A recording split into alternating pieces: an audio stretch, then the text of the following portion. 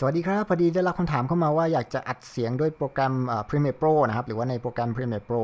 ซึ่งอาจจะไปทำ voice over หรือว่าอัดเสียงภาคทับพวกฟุตเทจต่างๆ หรืออะไรก็แล้วแต่เนี่ย ซึ่งการอัดเสียงในโปรแกรมเนี่ยก็ไม่ยากเลยนะครับ แต่เพียงแต่ว่าก่อนอื่นเนี่ยเราต้องไปเซตอะไรบางอย่างก่อนสักสองสาอย่างนะครับ ก็คืออย่างแรกเลยละกัน เราเข้ามาในโปรแกรม Premiere Pro แล้วใช่ไหมครับ เราก็ไปที่ Edit นะครับ แล้วก็ไปที่ Preference แล้วก็ไปที่ Audio Hardware นะครับอันตรงที่เราจะเซตตรงนี้ก็คือว่าเราจะบอกโปรแกรมว่าจะอัดเสียงเนี่ยเข้ามาด้วยอุปกรณ์ไหนใช่ไหมครับซึ่งในกรณีเนี้ย ผมเสียบใช้ไมโครโฟน Blue Snowball นะครับ ผมก็เสียบผ่าน USB เอาไว้ เพราะนั้น Windows อะไรมันก็ดีเทคแล้วว่ามีไมโครโฟนตัวนี้นะครับ ผมก็มาตรง default input ใช่ไหมครับ แล้วก็บอกโอเค เดี๋ยวจะอัดเสียงเนี่ย ให้อัดเสียงจากไมโครโฟนตัวนี้นะนะครับ ก็คือไมโครโฟน Blue Snowball ตัวนี้ใช่ไหมครับ พอเซตตรงนี้เสร็จเรียบร้อยแล้วเนี่ยเราก็ไปตรง Audio นะครับ แล้วก็มาติ๊กตรงหนึ่ง อันนี้สำคัญนิดหนึ่งก็คือตรง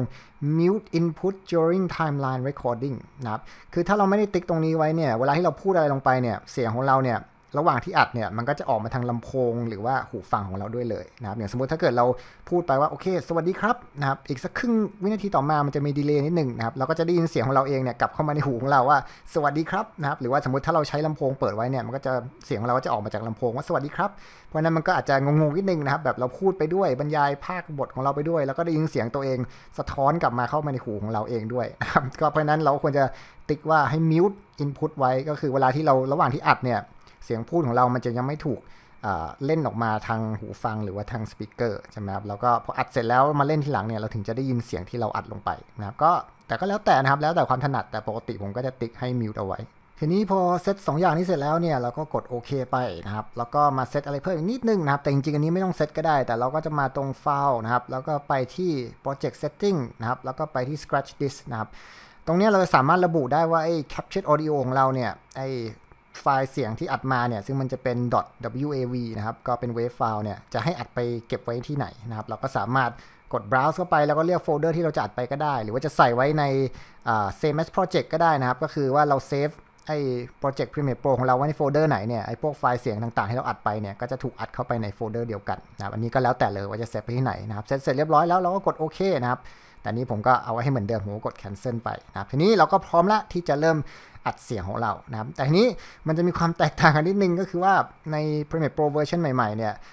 ขั้นตอนการอัดอาจจะง่ายกว่านะครับ ซึ่งเดี๋ยวผมจะทำให้ดูทั้ง 2 แบบแหละ ทั้งใน Premiere Pro เวอร์ชันใหม่ๆ ล่าสุดอันนี้นะครับ แล้วเดี๋ยวก็จะบรรยายว่าถ้าเป็นเวอร์ชันเก่าๆหน่อยเนี่ยจะจะต้องไปกดอะไรตรงไหนบ้าง สำหรับเวอร์ชันใหม่ล่าสุดเนี่ยก็ง่ายมาก ๆ เลยนะครับ จะสังเกตเห็นว่าตามแทร็ก audio track ต่างๆเนี่ย audio track 1 2 3เนี่ยมันก็จะมีโลโก้หน้าตาคล้ายๆเหมือนไมโครโฟนอยู่ใช่ไหมทีนี้สมมุติเราอยากจะอัดเสียงที่เราจะอัดพากย์ลงไปเนี่ยใน track ไหนเราก็แค่ไปกดตัวไมโครโฟนใน track นั้นเลย มันก็จะเริ่มอัดเลยนะครับอย่างสมมติผมบอกโอเค เดี๋ยวจะเริ่มอัดอ่าอัดตรงนี้แล้วกัน จะเริ่มอัดตรงนี้จะอัดลงไปใน audio track 2ใช่ไหมผมก็กดคลิกเข้าไปปุ๊บอ่ามันจะบอกโอเคจะเริ่มนะ3 2 1 โอเค ตอนนี้ก็เริ่มอัดแล้วนะครับ อันนี้ก็เป็นการทดสอบนะครับ ตอนนี้ก็อยู่ที่วัดล่องขุนนะครับที่จังหวัดเชียงราย โอเค เดี๋ยวถ้าหยุดจะหยุดอัดแล้วเนี่ยก็กด space bar หรือว่าจะมาหยุดกดปุ่ม stop ตรงนี้ก็ได้นะครับ โอเค เพราะนี้ผมก็อัดเสร็จเรียบร้อยแล้ว เดี๋ยวเราลองมาเล่นกันดูว่าเมื่อกี้มันอัดไปเหมือนที่ผมพูดหรือเปล่านะครับ โอเค ตอนนี้ก็เริ่มอัดแล้วนะครับ อันนี้ก็เป็นการทดสอบนะครับ ตอนนี้ก็อยู่ที่วัดล่องขุนนะครับที่จังหวัดเชียงราย โอเค เดี๋ยวถ้าหยุดจะหยุดอัดแล้วเนี่ยก็กด space bar หรือว่าจะมาหยุดกดปุ่ม stop ตรงนี้ก็ได้นะครับ ครับก็อย่างที่เห็นเนี่ยมันก็อัดสิ่งที่ผมพูดเมื่อกี้ลงไปเรียบร้อยแล้วนะครับ ก็ง่ายสุดๆเลยนะครับ ทีนี้อีกฟังก์ชันหนึ่งที่จะดีสำหรับเครื่องมืออันใหม่ในเวอร์ชันใหม่เนี่ยก็คือสมมติถ้าเราจะอัดต่อจากเดิมเนี่ย อย่างสมมุติถ้าผมมาสักตรงนี้แล้วกัน อะผมจะอัดต่อจากที่ผมพูดไว้เมื่อกี้เนี่ย เวลาที่เรากดเครื่องหมายไมโครโฟนไปเนี่ย มันจะเริ่มเล่นจากก่อนหน้าสัก 3 วินาทีมาก่อนนะครับ ให้เราได้ตั้งตัวก่อนว่าก่อนหน้านี้เราพูดอะไรมาบ้างนะครับ เสร็จแล้วพอมาถึงจุดที่เราจะเริ่มอัดเนี่ย มันถึงจะเริ่มอัดต่อนะครับ เดี๋ยวยังอย่างเดี๋ยวผมลองทำให้ดูนิดนึงกัน อ่าโอเค เดี๋ยวลองอัดต่อจากเมื่อกี้นะครับ ผมก็กด spacebar หรือว่าจะมาหยุดกดปุ่ม stop ตรงนี้ก็ได้นะครับ โอเคนะครับเมื่อกี้มันก็จะเล่นก่อนหน้านิดนึงให้ผมเตรียมเหมือนว่าจะพูดอะไรต่อไปนะครับ ซึ่งตอนนี้ผมก็กำลังอัดต่อจากเมื่อกี้ละนะครับ อะก็กดหยุดเหมือนเดิม อ่านะครับตอนนี้ก็เห็นแล้วว่าจากที่ผมอัดไปเมื่อกี้มันก็จะอัดต่อมาครั้งที่2นะครับเดี๋ยวลองเล่นให้ฟังดูสักนิดละกันปุ่ม stop ตรงนี้ก็ได้นะครับโอเคนะครับเมื่อกี้มันก็จะเล่นก่อนหน้านิดนึงให้ผมเตรียมเหมือนว่าจะพูดอะไรต่อไปนะครับ ซึ่งตอนนี้ผมก็กำลังอัดต่อจากเมื่อกี้ละนะครับอะก็กดหยุดเหมือนเดิม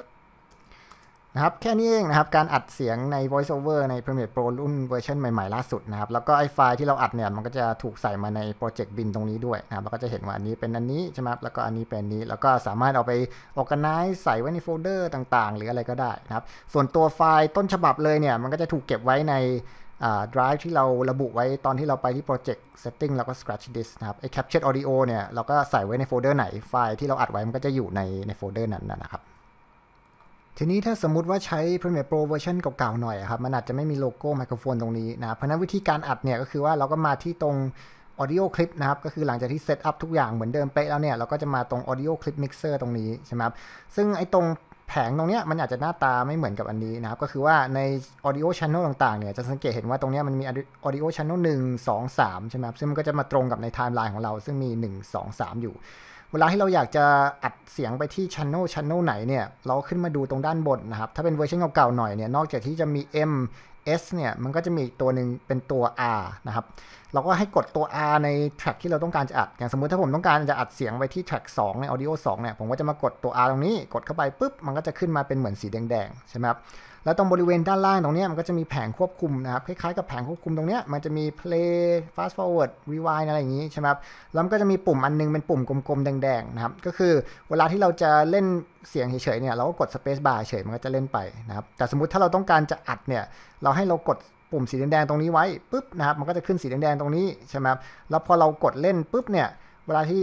วิดีโอของเรามันเล่นไปเนี่ยมันก็จะอัดเสียงไปด้วยใช่ไหมเพราะนั้นพอเรากดเล่นปุ๊บนะครับเราก็พูดใส่ไมค์ไปได้เลย เสร็จแล้วพอเราหยุดเล่นปุ๊บไอ้ audio ที่เราพูดไปทั้งหมดเนี่ยมันก็จะถูกอัดลงไปใน track ที่เราระบุไว้ใช่ไหมเพราะนั้นเราก็สามารถมาเลยโอเคเราต้องการอัดไปที่ audio track สามใช่ไหมแล้วก็มากด R ตรงนี้ให้เป็นสีแดง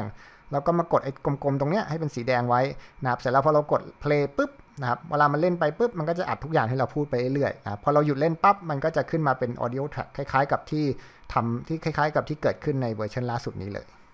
โอเคนะครับ ทั้งหมดนี้ก็เป็นวิธีการอัดเสียงลงไป หรือว่าอัดเสียงด้วยโปรแกรม Premiere Pro นะครับ ซึ่งก็อย่างที่เห็นง่ายมาก ๆ เลย ก็หวังว่าจะตอบคำถามที่สงสัยอยู่ได้นะครับ ก็ถ้าสงสัยอะไรเพิ่มเติมไหนก็ลองถามมาแล้วกัน ผมไม่แน่ใจว่าที่ต้องการเป็นแบบนี้หรือเปล่านะครับ ก็ยังไงวันนี้คงพอแค่นี้ก่อนแล้วกันนะครับสำหรับคลิปคลิปนี้แล้วก็หวังว่าจะเจอกันใหม่คลิปหน้า สวัสดีครับ